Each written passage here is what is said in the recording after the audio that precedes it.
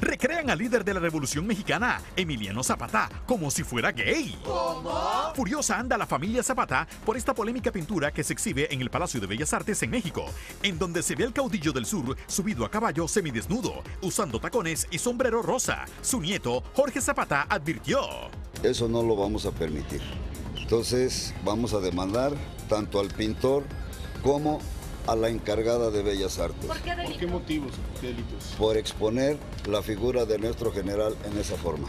Decían que la señorita México se había retirado del certamen, que se había retirado. Es y bueno, nos pusimos a investigar, nos dijeron que efectivamente la muchacha de México se estaba sintiendo muy mal.